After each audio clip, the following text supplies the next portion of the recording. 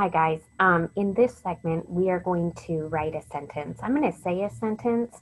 You are going to break that sentence down into a certain number of words and then you're going to write down the syllables carefully in those words to form your sentence up here. And the reason why we're doing this is so that you can get really good at taking your thoughts and breaking it down into those itty bitty word parts, syllables, so that you can um, get really good at communicating your ideas in writing.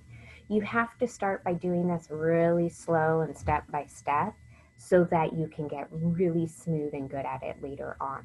This bit by bit part really is essential um, to learning how to become a strong writer and a strong communicator. So this sentence is really easy. First, find out how many words are in the sentence. Then you're going to break those words down into their um, open and closed syllables, and that's it.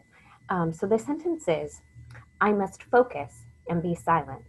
Okay, so you might kind of rehearse that with me and say it with me. Ready? Say it with me. I must focus and be silent. Okay, now um, I'm going to tap on the board. Um, you might take your pencil and tap on your paper, but this is one of those steps that eventually you do automatically. You probably do already. I must focus and be silent. I'm going to do it again. I must focus and be silent. Okay, I think that was six words. I must focus and be silent. Okay, and what comes at the end of a sentence? Some kind of punctuation. So this is going to be a period. Okay, I, that's easy. What kind of I? Capital. I must. Um, must. Do you hear the vowel sound? Uh, we don't hear a vowel name, right? Must. So it is a short vowel. Um, there's consonants after it because it's a short vowel, so it's a closed syllable. Must. Okay. I must focus. Focus. How many syllables? Two. Fo, open syllable. Cuss. Uh, closed syllable, short sound. I must focus. And quick one, we know that. I must focus and B, B, E, easy. Open syllable, that E says its name. I must focus and be silent. How many syllables? Silent. Two, S, I, because the I says its name, it's an open syllable, silent. Uh, and I must focus and be silent. Uh, easy peasy, let's do it again. Here's the sentence. Bob got his banjo in a contest. Bob got his banjo in a contest. Oh, that's so cool. Bob got his banjo in a contest. I think it's six or seven. Bob got his banjo in a contest.